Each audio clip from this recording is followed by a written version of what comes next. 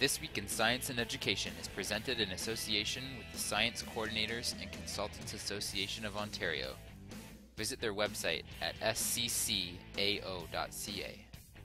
This Week in Science and Education is brought to you in part by the University of Western Ontario, www.uwo.ca. We thank them for their support. This Week in Science and Education is also brought to you by Laurentian University. Check out Laurentian at laurentian.ca. We thank them for their support. Hey everybody, it's time for This Week in Science and Education. This is your host Kevin Cougler. We are recording T-Wise episode 61 on Thursday, December 22nd, 2011. Forensic Fireside Chats. Hey everybody, thanks for taking the time to join us today on This Week in Science and Education. Forensic Fireside Chats. This sounds like an interesting show. We're going to find out what that's all about really soon, but before we do, let me welcome to the show Dr. Thomas Merritt from Laurentian University. Hey Thomas. Hello, folks. I'll try to make sure the phone doesn't ring halfway through today's show. yeah, try and keep the custodians out from emptying the garbage in behind you, you know, and all that stuff. I'll do my best. Speaking of ex-custodians, my good friend Colin Jagoe is with us. Hey, Colin. that's, a, that's a segue and a half. Sometimes I don't think I'm an ex. well, you just feel like that as a teacher, man. It's all right. right. It's all good. You're doing well. So, guys, we've got an interesting guest today. We're going to talk about forensics. This is Dr. Scott Fairgrieve. Scott, hopefully I pronounced your last name correctly, but uh, welcome Yeah. to the show. Thanks for taking the time to be here. Thanks very much. No problem. So, Scott, forensic uh, fireside chats. What's that all about? What, what are we talking about today? Well, fireside chats for me tend to be where I talk about science while a fire's going on and we're doing test burns of uh, things like pigs. Um, in forensic science, I my specialty is dealing with burned bodies. So people that have either been caught in fires in different types of contexts, or somebody where they basically have been killed by somebody else, and then the perpetrator is trying to get rid of the body using fire. So uh, we have to interpret those uh, for the courts and uh, give reports and even testify at trials, which I've done. So, Scott, you're up in uh, Sudbury. You're working out of Laurentian University. Yes. Um, you must do a lot of work for uh, you know the, the larger population areas like the GTA. I can't think that there's that many uh, you know fatalities within the Sudbury area to keep you busy throughout the year. Would that be right? Well, actually, uh, we, as a forensic At least I hope there anthropologist, sorry. At least I hope there isn't. Well, you know, it's interesting. I do get a few cases each year. Uh, I actually deal with all of Northern Ontario, and I, I do that work for the Office of the Chief Coroner, as well as the uh, the newly formed Ontario Forensic Pathology Service. So I actually do that for them, but we have different forensic anthropologists in different regions of the province. So I basically handle Northern Ontario, which, if you think about it, has a land area of approximately that of Western Europe. So, but fortunately not with the uh, population density. But I'll, I'll get a few cases each year that are legitimate, uh, you know, cases. And the types of cases I tend to deal with are homicides. But a lot of what you do with, with your time, I mean, is basic research as well.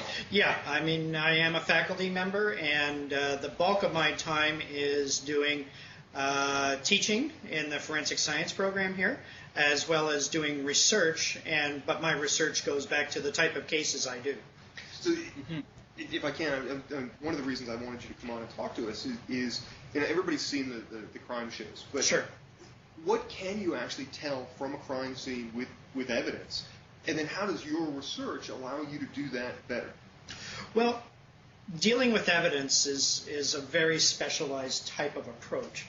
Uh, when we go to a crime scene, and that's generally, I will be one of the people that does go to the scene, especially if we're dealing with human uh, remains. There is a way of collecting that evidence so we can maximize the type of, shall we say, interpretation we can get out of it. Uh, when you process a crime scene, you're actually destroying it. So you get one chance to do it, Right. and then you have to uh, essentially record everything, get that evidence properly seized, properly packaged, and brought back to the lab Yeah. in order to process it. So what we can get is we're different from a lot of sciences. We don't get to choose, at least at crime scenes, what our samples are. We don't have to say, well, I need this sample size or I need Yeah. to do this analysis. You mm. basically get what you get. And my job as a researcher is to come up with scenarios that I've or ones that I've encountered and say, okay, what were the problems with that? Uh, where is there a gap in our knowledge? And how do I fill that in? So for me, it's fire changing the body. And you've probably have all seen these TV shows where they are talking about an autopsy or they say, oh, we're doing the autopsy like on CSI or what have you.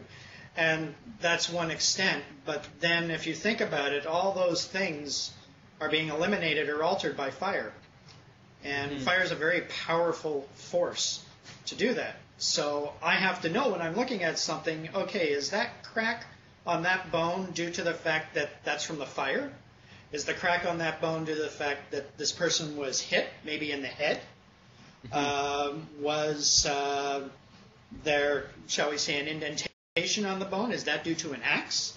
Is that due to a, uh, a knife? So, what is it that caused it? And how can I tell these things from the burned bones? So, that's the real challenge of it.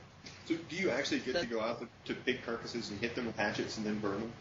Yeah, actually, that's part of the part of the research is we have to use a model, and our analog or model for that is, of course, uh, going to be something as close to human without it being human. And the general research model that we all use are going to be domestic pigs. Yep. Uh, they're readily available. Uh, we can uh, get a hold of them uh, fairly easily. We can Unless we, they're greased, right? And they're harder to get a hold of. Grease, grease pigs are very hard to hold, yes. Uh, I, I usually don't run after them, fortunately. But we can even go to a butcher shop Yeah. and get the fragments we need, Right. even with flesh on them. Uh, so if I need a hind limb, I can get it. Uh, if I need ribs, I can get it. And so, for instance, I just finished a study on cut marks in ribs because the chest area of a person is the most common place to receive knife wounds. So Hmm. we didn't have anything to say, boy, if somebody burns a body and we've got ribs, Yeah. uh, how can I be sure that what I'm looking at is a cut mark from a knife rather than some other artifact from the fire? Do you eat Scott, if I'm not mistaken, uh, Colin wanted to jump in there. Go ahead, Colin. Well, Yeah. you're sort you're sort of talking about it. it like, as a science teacher and science enthusiast, I guess the most fascinating part about some of the shows like CSI is when they do experiments. Like I was watching a, a taped episode last night where they had a whole bunch of different, um, I think it was canes that they were trying to see matched a mark, and they're whacking these these models to see which mark matches the cane to try and try and draw this conclusion.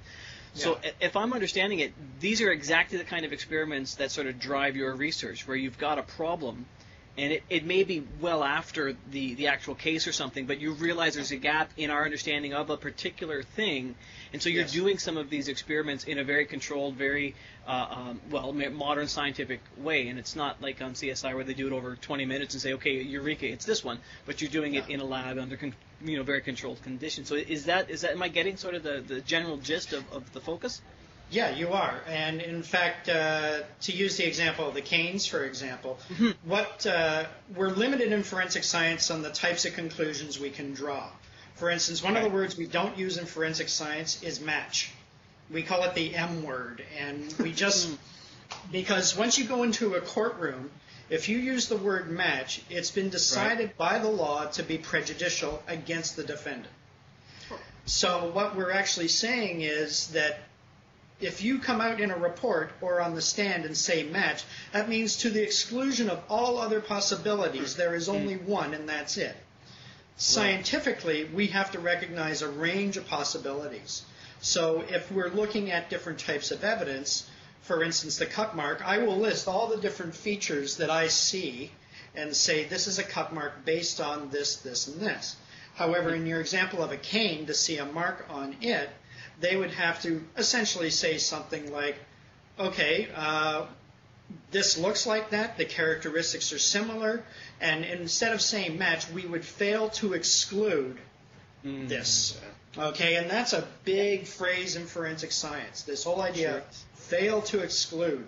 Uh, Even with DNA analysis, if you look at all of the um, the data they have in the DNA data bank, when a probability is generated based on DNA as to identity of who it is, that probability is always given the most favorable. In other words, what's most in favor of the defendant. Okay? Right. Uh, so you may have a white female and you're trying to see if the DNA match, say that. Or let's say a suspect, even better. Let's say you've got a white male suspect.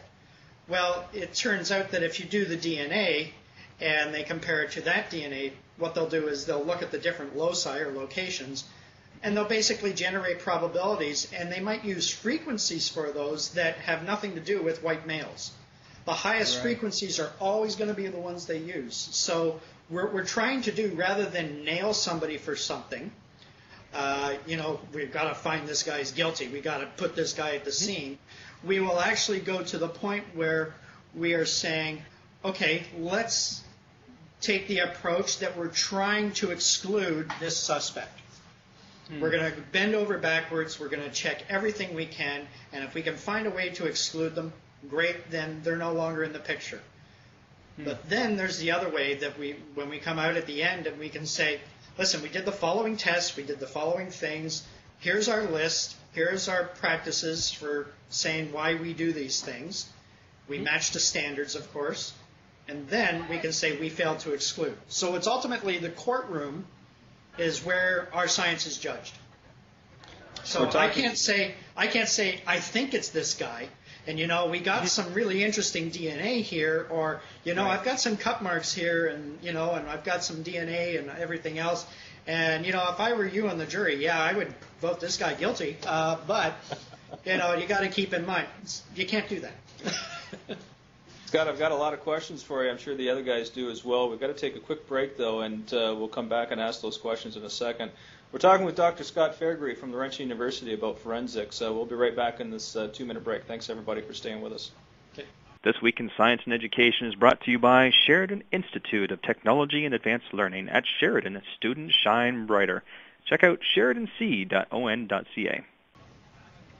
And we're back. Thanks everyone for sticking with This Week in Science and Education. We're talking with Dr. Scott Fairgrieve, who is a forensic scientist from Laurentian University. And uh, Scott, I guess the, the first question that I had, and this is fascinating, you know, from a legal perspective, because I think maybe a lot of people don't understand that when you get into the type of job that you're in, and certainly as young students, we tend to forget that we will be called upon as experts in cases as our career evolves and perhaps there's a certain element of training that we have to undergo to prepare us for presenting these arguments or presenting the science in a courtroom. Sure. What kind of training did you have to go through in order to, uh, you know, to be able to give testimony appropriately and scientifically, if you will? Well, I think first and foremost, what people have to realize is you're becoming a scientist first. Okay, so you have to have your basic science skills and math skills, etc., under your belt. So this means the biologies, the chemistries, the maths, uh, those sorts of things you actually have to have. The other thing are good communication skills. You have to be able to write because you're going to be doing reports, and then you have to be able to get up into a courtroom or get up in front of a group and explain your report under questioning, but not do it as, shall we say, a scientist talking to other scientists. If you actually look at the people on a jury, we've been told to gear things to about a grade 8 to grade 9 education level. Yeah. Okay? Which surprises some people, but there's quite a diversity of people out there with all sorts of different levels of education that end up on juries. So you basically have to not get up there and try to confuse people. So the background that you have to have is become very conversant in your science area of interest, and then uh, learn through various professional organizations um, how to give evidence. Now, when I was going through, there was no such thing as a forensic science program in Canada at all. Okay? The scientists that we had doing forensic science were coming out of, let's say, biology programs, chemistry programs, and the like. But now we actually have, here at Laurentian, for example, and at other places, an actual forensic science degree program that emphasizes all of the areas of science I just mentioned to get that training. But we're doing it in a forensic context, and we're teaching people the language of how to talk about their evidence, how to present it in a clear manner, but also how to draw unbiased conclusions. And that's a huge, Yeah. huge area. Yeah. the unbiased Right. report.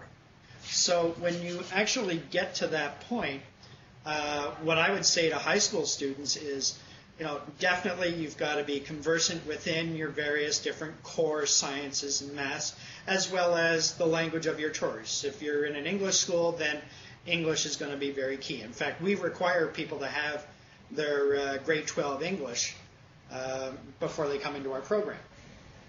So we want them to be able to communicate. Sorry, we're Yeah. you know going back, guys. Um, quite a few shows now. We were talking to Mike Noonan about um, science education and, and the approach that, that his group has been taking to educating scientists. Yeah. One of the, the, the points that we spent a lot of time talking about is is the focus now on teaching high school kids um, to draw conclusions and then to defend their position. And you know, it, not from not from an aggressive point of view or a defensive point of view, but these are the things that we know. Yes. And you know, the, one of the things that stuck in my head when I was a PhD student that my my advisor was really good at saying was, I, I don't know that. And you know, what are the things that we don't know? Yes. And and not overstating because you want to make a point. Yeah. You know, how do you you teach you know, budding scientists or high school kids or Yeah. whoever it is Yeah. to, to to get their point across with what they actually do know, Mm-hmm. and be very upfront about what they don't know. Um, one of the things that I work with all of my graduate students over and over again is the idea of assumptions. So, what are the assumptions that we've made Yeah. um, in in the material that we're, that we're presenting? Um, but listening to you, you know, in your particular field, like you say, it, it's absolutely vital to be a good scientist. Yeah. Um, but those communication skills are something we've talked about quite a bit on the podcast.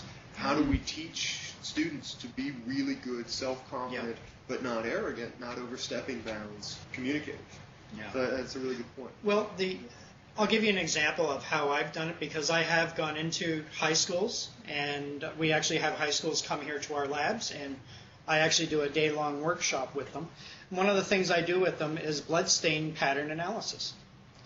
And the reason I do that is because it brings in physics. Physics teachers are asking me all the time, how can I bring physics into the like the forensic sphere of physics and make physics more exciting because they said, you know, to drawing drawing cannonballs going across the sky, you know, just isn't doing it for them.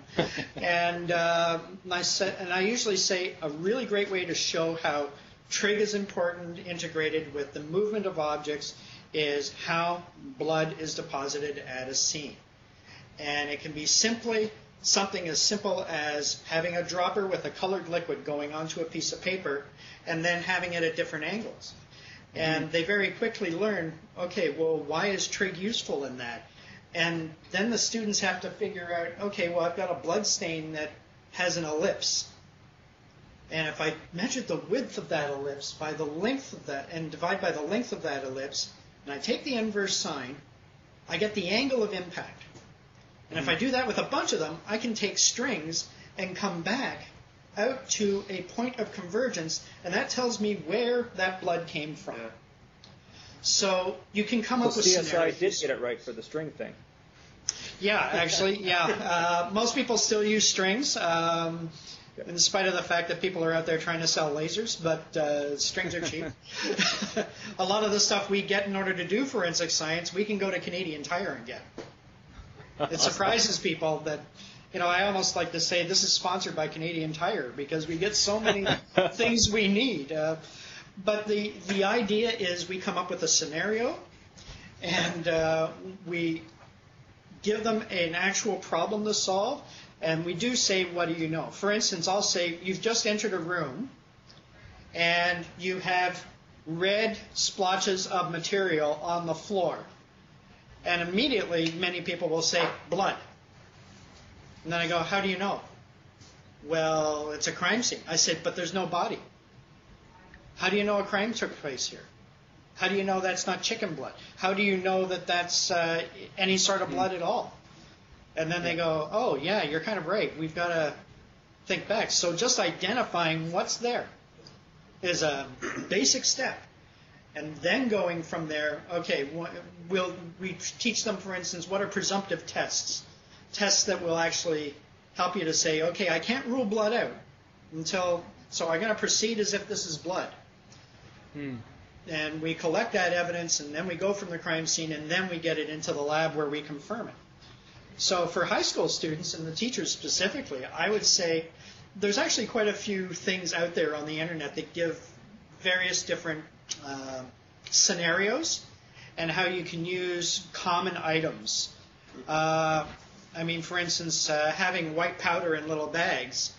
You know, I've been in different labs around here, and I see white in bags all the time. Now, you know, as a forensic scientist, my question is, oh, is that cocaine? Is it something else? And but then I see the coffee machine next to it. You know, it's sugar. Okay, well, how do I know it's not a cover for sugar? You know, or whatever. But there's ways to test, and you kind of have to teach students not to make an assumption that isn't that isn't founded. Yeah. Okay, so you've got to actually get a fact. Yep. And the flights of fancy people go on. I have students say to me, "Well, okay, I've, we've got a hole in the skull." Okay, and I'll say, "Well, there, there's a hole right here on the skull. What do you think?" Oh, I've had all people, sorts of people give me, you know, that don't know the anatomy, all sorts of wonderful ideas and questions, but I'll say, "But that hole occurs naturally." And they go, "Oh, okay, so now you're telling me I've got to know the human skeleton." Before I can actually start talking about what differences on the skeleton are. Sure. Yeah. So Yeah, no, we've we've got to we're always comparing. Uh, one of the nicest things I like to say to students to kind of bring them to ease with forensic science is most of what you need to know in order to be a good forensic scientist. It's no joke you learned in kindergarten. and what you learned was that game. Which of these does not belong? You're doing Hey, I'm comparison. great at that game. Test me. Yeah, yeah, exactly. So it's it's it's all about comparison. So how are things different? Why are things different? And how significant is that difference? Scott, So- you're one of those uh, guests. I'm sorry to cut you off, but we're about five minutes over time. I do want to get one more question in from Colin, and um, because because it's very often when I, I was and I was the reason I'm going to say it I was reading some of the research that was published on your, your lab's website uh, some of the stuff that was published by students which really got me intrigued because they're talking about axe and hatchet trauma in long bones and things like that just really fun stuff to read you know with Yeah. right, two days before Christmas really good stuff but it occurred to me that some of these things, from a student point of view, A, are engaging as all get out, but B, are totally doable. I'm thinking about science Yeah. fairs and things like that. Because Yeah. you mentioned Canadian Tire and you mentioned pigs. It's not that big a stretch to think that, that a high school student can take axes and saws and start hacking away at things and doing some of their own analysis. So, you know, what kind of things, if you want to get a, a teacher or a student in high school to think about doing projects, open-ended projects around forensics, what kind of things could they do in high schools that, that might be uh, of interest or long-term of some use? Like, what are some gaps that high school students can approach uh, to study? Yeah, well, the thing is, uh, for instance, uh, high schools being located all over the place, we do not have a good database in the province of insect succession on remains. Okay, forensic entomology, forensic bugs. Uh, all you have to do is get some uh, get some meat from a butcher shop, put it out there, and then have uh, students start to watch what flies come on there, how quickly they come on, what are the different types. They can capture the flies. The flies lay maggots onto the meat. Uh, they can. Col- there's ways of collecting the maggots. Um, they can actually rear the maggots so they can identify them later, so that they can. There's actually a way of capturing them, and then you keep them in a container, and the Right. maggot just keeps feeding off of some liver for a while, and then becomes a fly ultimately. Uh, there's all sorts of things like that that can be done all over the place. It'll be a really interesting project. But you've also mentioned uh, saws, for instance, and axes and that. I think one of the things uh, you know Where are they you could do with is get get a get a yeah get a long bone or something from the butcher shop. Get the bones go they get don't your need. neighbor's pig. bones. Bring that in your living room. Cut it up. Yeah, yeah. and and and say uh, have people bring in different saws from home. Can they make a cut on that and tell the difference? Was that that mark made by that saw or by that saw? Right. You know, and then they can find out. Fascinating. Ooh, it's not that easy. Uh, you've really got to think about. Okay, well, I brought in a jigsaw or a coping saw This one brought in a crosscut saw. This one brought in a regular wood saw. Right. You know, all sorts of different types. And wow, can I actually tell the difference? And that's a big issue. We've got cases where, you know, we have to be able to say something about, you know, something's been done to the body. We've got the bones. And the police say, well, here's all the stuff that possibly made those marks that we found. Can you tell us something about it? And that's a real question in forensic science because we're trying to see can we exclude a whole bunch of these other saws and Right. get down to this one, this hatchet, and this sort of thing. But again, all of that can even be uh, based on position. How are they doing the cut? Oh, So, man. This has Yeah. been so much fun today, Scott. I'm sorry to cut it off, but I, I simply must. You're you're one of those engaging guides. I know we could sit and chat for two hours with you, and I, I'm sorry that we don't have an hour-long podcast that we used to, because we would definitely be doing that right now. But uh, for now, I'll just say thank you very much, and maybe you'll come back again and we can pick up where we left off. Would you do that? Mm. oh, sure, absolutely. Yeah. Thanks Our very much for having me. today- It's our pleasure. Thanks for coming on the show. It's been Dr. Scott Fairgrieve has been our special guest today, forensic scientist from Laurentian University. Hope you learned a lot. Uh, great show, and uh, thanks for uh, Thomas to uh, to bring him along on the show today. Appreciate that connection. For Thomas Merritt and. Colin Jagoe, this is Kevin Cougler, virtual researcher on call, saying thanks everybody for tuning into this week in Science and Education. Have a safe and happy holiday, and we'll see you in a couple weeks. Thanks everybody. Bye bye.